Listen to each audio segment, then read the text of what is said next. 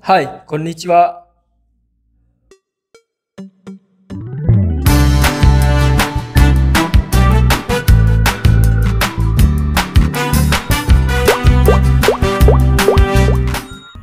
Assalamualaikum Assalamualaikum warahmatullahi wabarakatuh Ketemu lagi dengan Ojijang Story Nah kali ini Ojijang Story akan sedikit review terkait dengan post charcoal Nah charcoal ya Jadi ini adalah post Jadi eh, untuk ini apa namanya ketiak kalian. Jadi ketiak kalian biar tidak bau Tetap kering dan juga pastinya nyaman beraktivitas dengan menggunakan post ini.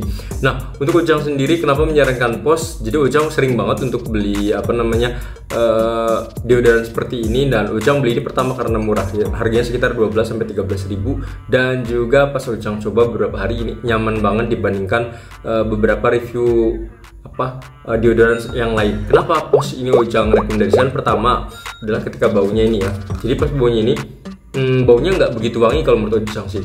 Ya kalau ada wangi pasti ada wangi-wanginya ya. Tapi menurut Ojang wanginya tuh nggak begitu wangi banget jadi enak. Jadi ketika dipakai tuh ya seger aja jadinya ya.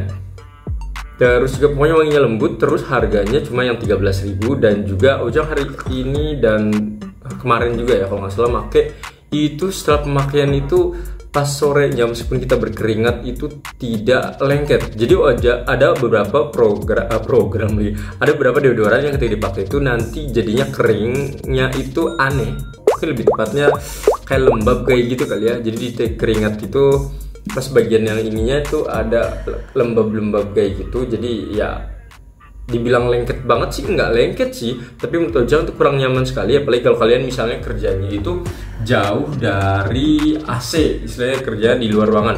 Nah kebetulan Ojang kerjaan di luar ruangan atau ya sekali juga di luar juga sih sebenarnya. Tapi ketika pakai yang di luar ruangan ataupun di dalam ruangan ini nyaman banget. Kenapa pas nyaman? Karena pas dipakai itu jadi tetap kering dan ketika Ujang selesai mandi itu fresh dan ya pas kerja dan lain-lain itu nggak ribet dengan istilahnya ketiak yang kadang Ujang kayak gini jadi benar-benar yang uh, lengket banget jadi Ujang kayak gini biar adem gitu ya. Tapi ketika pakai ini nggak perlu lagi karena benar-benar yang kering banget dan nggak bau. Jadi Ujang ya bagus. Betul Ujang rekomendasi banget buat kalian yang mau beli untuk deodoran yang murah dan juga memang fungsinya menurut Ojang cukup baik. Ya menurut Ojang ini keren banget dan Ojang beli ini di online ya. Jadi kalian mungkin sekalian mau jajan yang lain juga silahkan beli. Soalnya kalau misalnya beli ke Indomaret dan Alfamart Ojang ragu nggak tahu ada nggak merek yang ini pos ini. Atau kalau misalnya ada pun biasanya harganya jauh lebih mahal ya. Jadi Ojang lebih menyarankan untuk belinya online kayak gitu. Ya Ojang biasanya kalau beli ini kadang langsung 3 atau 5 jadi biar awet seperti itu ya. Semoga bermanfaat infonya sekalian Ucang mau pakai juga habis mandi. Kayaknya gini aja. Ya. Satu dua tiga.